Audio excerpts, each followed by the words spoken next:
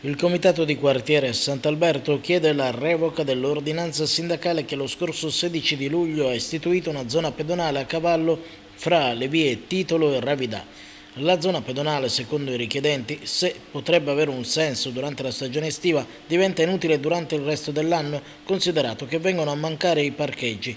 I commercianti chiedono che venga riattivata l'area di sosta. Chiediamo al sindaco che questa qua non può essere una zona pedonale. Io ho una vita che sono qua da 40 anni e cose pedonali non ci sono stati mai. Divieti non ce ne sono stato mai. Siamo lavorato tutti assieme, abbiamo buscato pane tutti assieme. Le persone che devono posteggiare non trovano posseggio, se ne accattare un mazzo di insalata, se ne vanno più avanti dove c'è il posseggio.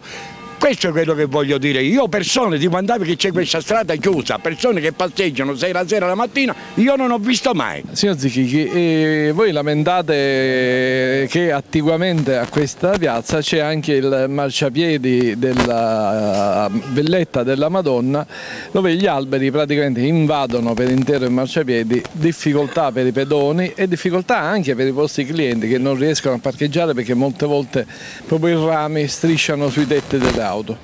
Sì, in effetti questi rami degli alberi sono abbastanza lunghi che eh, se non vengono a più presto tagliati arriveranno pure per terra e oltretutto le luci che loro hanno messo a led meravigliose che farebbero tantissima luce sono oscurati da questi rami e noi se la sera non accendiamo i nostri fari davanti al negozio saremmo totalmente al buio.